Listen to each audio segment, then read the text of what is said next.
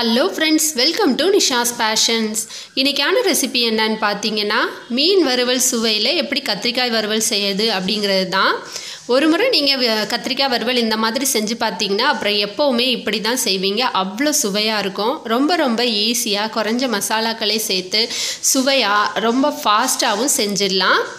இப்போ இந்த கத்திரிக்காய் வறுவல் செய்கிறதுக்கு முன்னாடி இதோட இன்க்ரீடியன்ஸ் என்னென்ன அப்படிங்கிறத நான் டீட்டெயிலாக டிஸ்கிரிப்ஷன் பாக்ஸில் கொடுத்துருக்கேன். தேவைப்பட்டால் செக் பண்ணிக்கோங்க.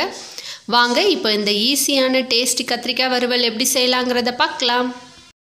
இது செய்கிறதுக்கு ஃபர்ஸ்ட் ஒரு மிக்சிங் பவுல் எடுத்துக்கலாம். அதில் ஒரு ஒன்றரை டேபிள் ஸ்பூன் வந்துட்டு மிளகாய்த்தூள் ஆட் பண்ணிக்கோங்க. ஒரு கால் டீஸ்பூன் மஞ்சள் தூள் அப்புறமா ஒரு அரை டீஸ்பூன் வந்துட்டு மிளகுத்தூள் ஒரு டீஸ்பூன் கரம் மசாலா கூடவே வந்துட்டு ஒரு டீஸ்பூன் எள்ளு பொடி இவ்வளவும் சேர்த்துட்டு இதுக்கு தேவையான உப்பும் சேர்த்துக்கோங்க. சேர்த்துட்டு ஒரு டீஸ்பூன் தேங்காய் தேங்காய்னையும் சேர்த்து நல்லா இதை மிக்ஸ் பண்ணி விட்டுடலாம்.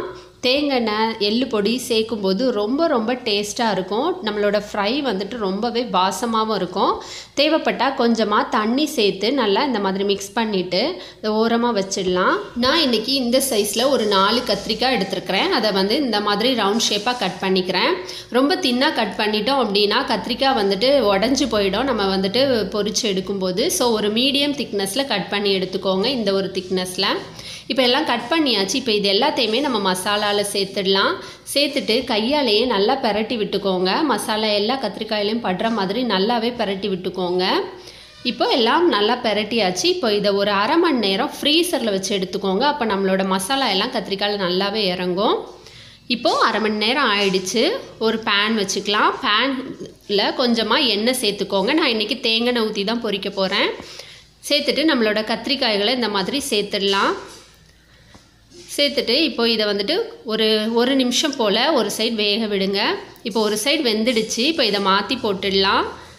மாற்றி போட்டுட்டு இப்போ இதையும் ஒரு நிமிஷம் போல் வேக விடுங்க. ஃபைனலாக கொஞ்சமாக வந்துட்டு கருவேப்பிலை இது மேலே தூவிடலாம்.